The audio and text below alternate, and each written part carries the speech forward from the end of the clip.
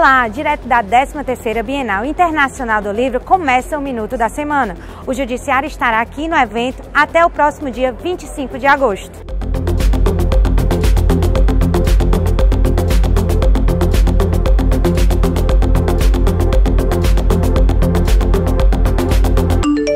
Das obras expostas é o livro Criminologia do Direito, lançado na última quarta-feira. De autoria do jurista e escritor cearense Clóvis Bevilacqua, a publicação integra o estande do Poder Judiciário, que conta com um total de 60 obras.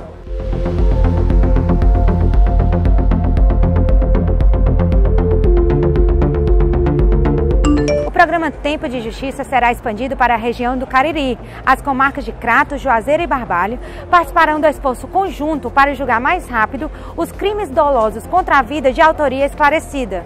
Esse programa, doutor Manuel, tem tudo a ver com o programa de celeridade do Tribunal de Justiça. Todo o nosso esforço aqui é voltado para julgar com mais celeridade os processos.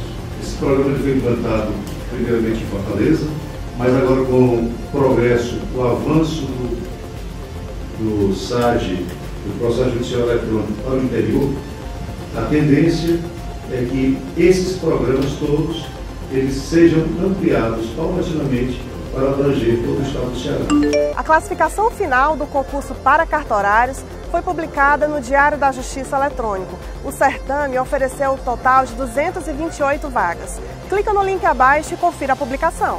A atual gestão do Tribunal de Justiça recebeu a imprensa nesta quarta-feira para divulgar os resultados do programa Celeridade.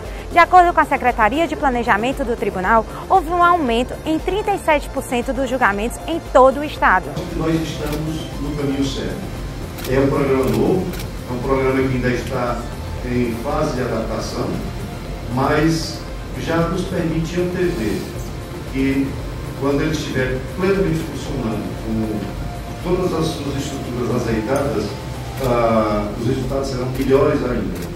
Ainda na reunião com os jornalistas, o presidente do tribunal, desembargador Washington Araújo, anunciou a implantação do processo judicial eletrônico nas comarcas do interior. Nós estamos levando o processo judicial eletrônico para todo o estado do Ceará. Até dezembro, todas as nossas comarcas estarão com o processo judicial eletrônico. Isso nos dá, nos permite uma atuação remota, é, nos permite atuar remotamente em qualquer comarca do Ceará. E o Minuto da Semana fica por aqui. Até a próxima!